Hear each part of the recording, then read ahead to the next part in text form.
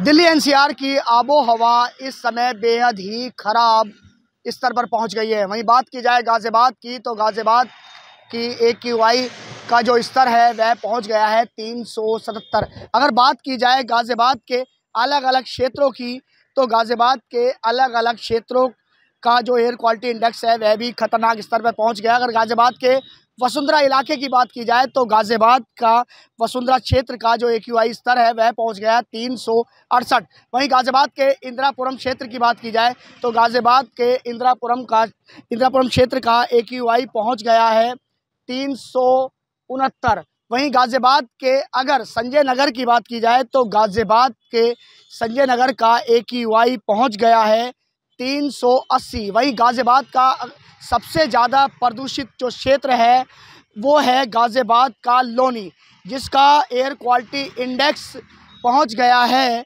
400 के पार। और इस समय जो एयर क्वालिटी इंडेक्स है, वह है 407 अगर बात की जाए ग्रैप की पाबंदियों की। तो गाज़ियाबाद में पाबंदियों पे जो तीसरा चरण है, वह लागू कर दिया गया। औद्योगिक इकाइयों में अब होगा पाँच दिन काम। यानी कि 300 के पार जब दर्ज किया ए तो लगा दी गई हैं पाबंदियाँ।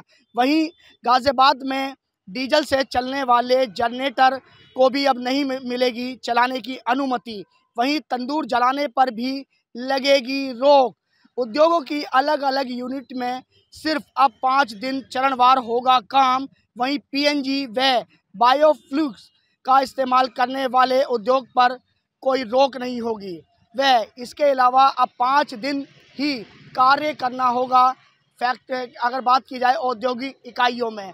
वहीं अगर अलग अलग पाबंदियों की बात की जाए तो जो सड़कों पर निर्माण कार्य चल रहे हैं, उन पर भी रोक लगा दी गई है।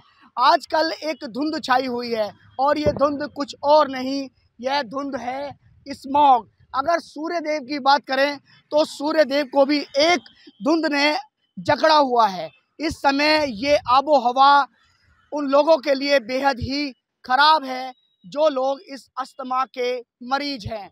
जो महिलाएँ गर्भवती हैं, वो भी घर से बाहर ना निकलें, क्योंकि उन सभी के लिए ये आबो हवा बेहद ही खराब बताई जा रही है। गाजियाबाद से एबीपी गंगा के लिए, मैं शक्ति सिंह।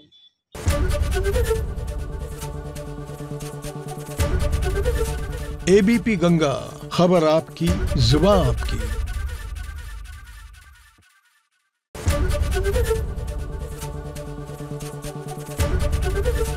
एबीपी गंगा, खबर आपकी, जुबा आपकी।